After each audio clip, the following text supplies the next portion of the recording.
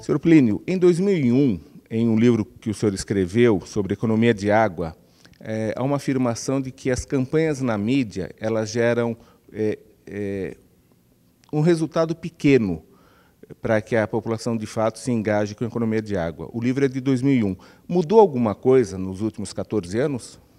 Não, não mudou nada.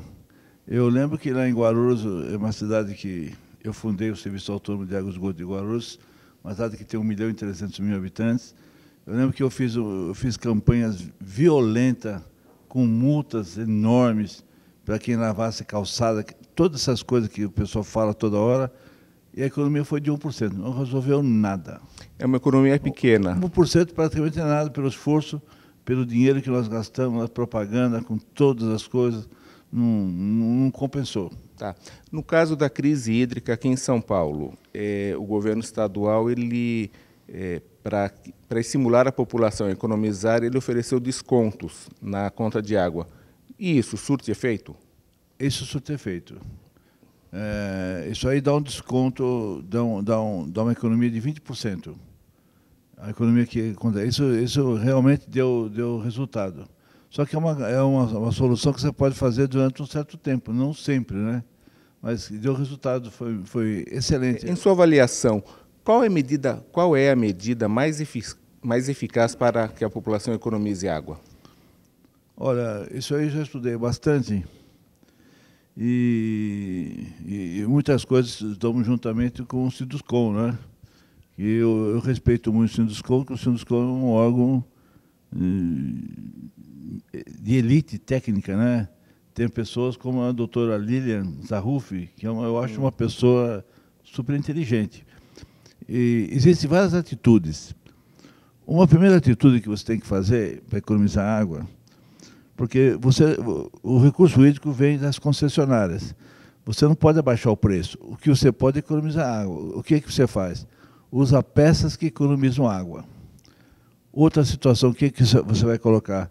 Usar a medição individualizada e monitoramento do consumo. Você monitora o consumo. Outra situação, usar água de reuso. Usar grey water. Pena que não tem norma técnica para reuso. Outra situação, usar água de chuva. Outro, você usar um poço raso para fins não potáveis. Outra, usar um mini poço, um poço de 4 polegadas com 50 metros de profundidade, faz um pocinho, usar para fins não potáveis. Outra, fazer um poço tubular profundo, que é, é um poço de 200 milímetros por 150 metros de comprimento. É, de no, profundidade. Caso, no caso dessas medidas, elas podem ser adotadas tanto pela, enfim, pelo usuário pelo usuário e por empresas, indústrias. To, todo mundo. E o conjunto dessas medidas tende a fazer com que a economia no consumo de água seja da ordem de quanto?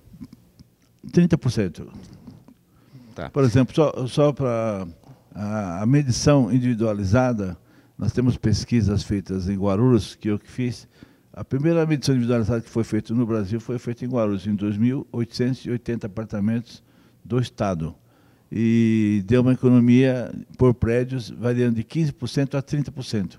Um percentual Só com importante. medição individualizada. Olha que, que importante que é a medição individualizada. Tá.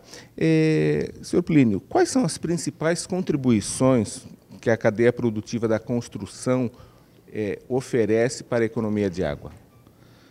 Olha, cadeia produtiva, primeira coisa, você vai num canteiro de obras, você pode usar água de chuva para fins não potáveis, para regar, pode, usar, pode pegar o esgoto, tratar o esgoto para fins não potáveis, dá para ser usado. É, eu, eu, já vi usar, por exemplo, em produção de concreto com, com esgoto tratado. Tudo isso tem que tomar cuidado, ainda, porque nós não temos norma de reuso ainda. O grande problema que nós, nós temos é a norma de reuso, inclusive o Sinduscon está se batendo por isso também está faltando uma norma de, de reuso. O, o outro problema de normas é que você não tem uma base técnica de fazer certos projetos. Então, é um problema é ficar muito sério. É, se nós compararmos o Brasil com outros países, vizinhos e também de outros continentes, é, nós temos uma população, uma sociedade mais engajada em outros países ou o Brasil é engajado? Olha, nós não estamos ainda, não chegamos lá ainda. Nós estamos um país em desenvolvimento. Eu tive em Berlim o mês passado, várias cidades da Alemanha.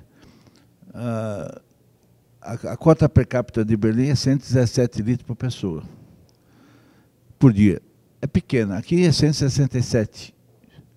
Mas nós temos Ribeirão Preto que é 600 litros por dia por pessoa. Eles pegam do Aquífero Guarani. Eles estão melhores que nós. Uma das coisas que eles fazem é o custo da água, que é grande.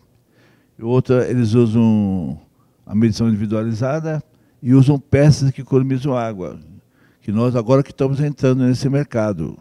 As peças que economizam água. Você tem que usar uma bacia sanitária que nós damos 6,8 litros por descarga. E se você vai só urinar, você usa 3,5, usa o dual flush. Uh, bacias sanitárias com dual flush.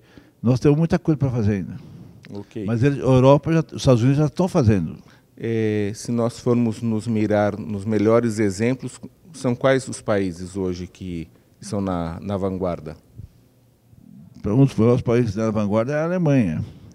É um país que está bem na vanguarda em tudo, né? Eu acho um país de uma cultura por excelência, cultura de Kant, dos filósofos, do, dos matemáticos como Leibniz eles são os bons, os americanos também são bons, mas, mas os americanos gastavam muita água e tem lugar que gasta muita água, eles também estão economizando água. Eu estive uns dois anos em Las Vegas e os chuveiros em Las Vegas. Antigamente você ia tomar banho naquele chuveiro, tinha uma vazão monstruosa, hoje já tem uma vazão pequena. Tem jardim, né? Que nas estradas que tinha grama, hoje não tem grama, tem uma pedra branca para não gastar água. Então, toda aquela região estão fazendo uma economia de água monstruosa.